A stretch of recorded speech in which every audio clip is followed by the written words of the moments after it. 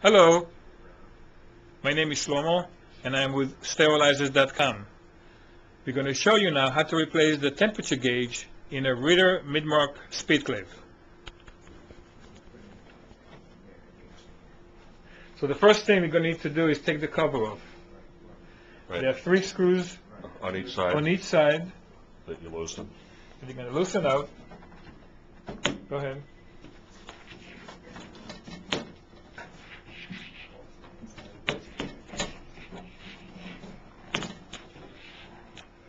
There's one screw over there.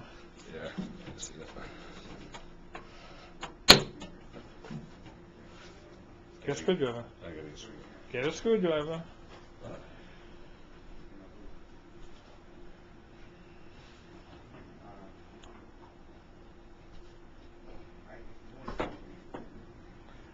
So while Buddy is getting a screwdriver, here you got one. Just loosen up the three screws. Is there one on the back also? No, Yeah, on the other two sides. only on the two sides.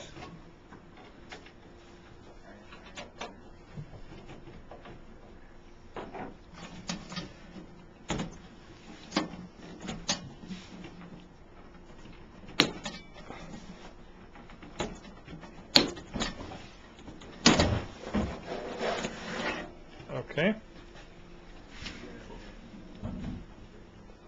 So to replace the gauge, what do we do, buddy? You would just loosen this compression nut Okay, here. Right. You may need a wrench.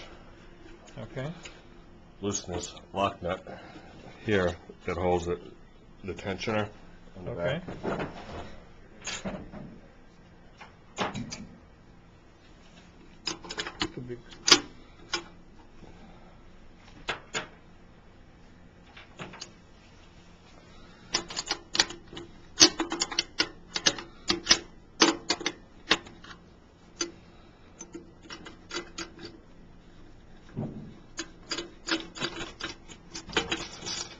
This nut's off. You just slide it out. Oh, okay. And le- let's take the gauge out, let's see it. Can we take it out completely or not? Yep.